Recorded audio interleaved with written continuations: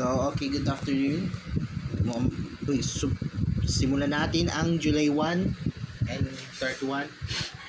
And yung mga friend and kate, dito si 09, ito po sa aso ni an, 09, adi niya sa mga C915. So, detail ng gray, yung mas maganda, yung isang gray na ganito yung gray tapos si si yung 09 and 915 ito yung kayo ng kalob ni Hyundai Hyundai bus. Yung rear is all the Hyundai bus. Hub, hub, hub, hubcaps na Hyundai bus. Tsaka na dalawang hub, hubcap ni Hyundai Hyundai bus.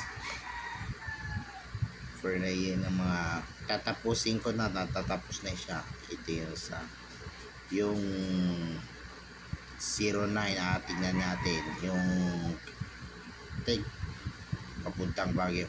330 pesos ah. 30 30 pesos only ah. 30 pesos 30 pesos lang nagbabayad ng ng Alfred bus and we have it okay salamat kayo sa sa papanood ng sa amin.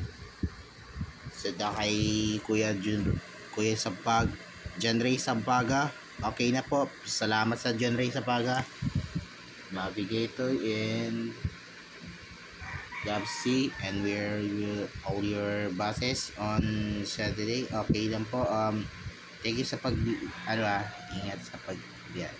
bye bye. Subscribe for more information